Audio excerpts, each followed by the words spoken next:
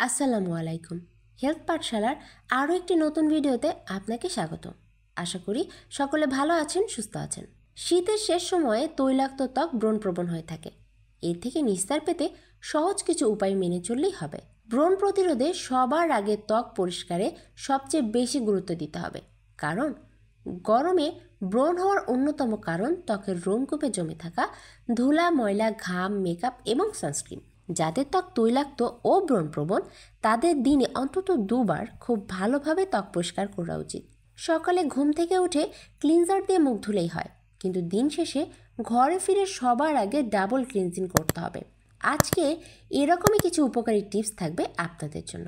তাই আশা করি সম্পূর্ণ ভিডিওটি সঙ্গেই থাকবেন। যারা আমার চ্যানেলটি সাবস্ক্রাইব করেছেন, তাদেরকে অসংখ্য ধন্যবাদ। আর যারা সাবস্ক্রাইব এখনও করেননি, তারা সাবস্ক্রাইব করে পাশে থাকা বেল আইকনটি বাজিয়ে দিন, যাতে পরবর্তী ভিডিও দেওয়ার সাথে সাথেই নোটিফিকেশন পেয়ে যেতে পারেন।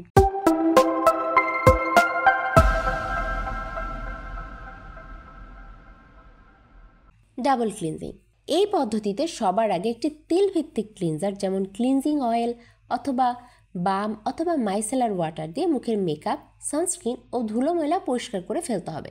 এরপর একটি ভালো মানের পানি ভিত্তিক ক্লিনজার দিয়ে মুখ ধুয়ে ফেলতে হবে। তৈলাক্ত ও ব্রণপ্রবণ ত্বকের জন্য প্রয়োজন এমন ক্লিনজার যা ত্বকের সেবেসিয়াস গ্ল্যান্ড থেকে সিবাম ও তেলের নির্গমন নিয়ন্ত্রণ করবে।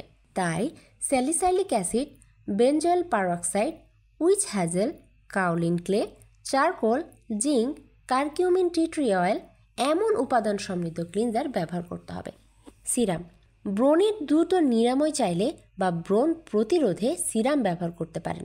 এই সিরামের প্রধান উপাদান হিসেবে স্যালিসাইলিক অ্যাসিড বা নায়াসিনামাইড রাখতে পারেন। পাশাপাশি hyaluronic acid, thyme, rosemary, alpha hydroxy acid, beta hydroxy acid থাকতে পারে। ময়শ্চারাইজার। অনেকে মনে করেন তৈলাক্ত ত্বকের জন্য ময়শ্চারাইজার দরকার নেই। ধারণাটি একদমই ভুল। সব ত্বকের জন্যই সব ঋতুতে ময়শ্চারাইজার ব্যবহার করা বাধ্যতামূলক। তবে সেটা হতে হবে ত্বকের ধরন বুঝে। তৈলাক্ত ত্বকের জন্য তেলমুক্ত ও নন কমেডোজনিক ময়শ্চারাইজার ব্যবহার করা উচিত। কমেডোজনিক উপাদান ত্বকের রোমকূপ আটকাতে পারে। এতে ব্রণ বেড়ে যাওয়ার সম্ভাবনা থাকে। তাই কেনার আগে উপাদানের তালিকা দেখে নন কমেডোজেনিক উপাদান আছে এমন ময়শ্চারাইজার কিনতে হবে। সানস্ক্রিন কোনোভাবেই সানস্ক্রিন ব্যবহার করা বাদ দেওয়া যাবে না।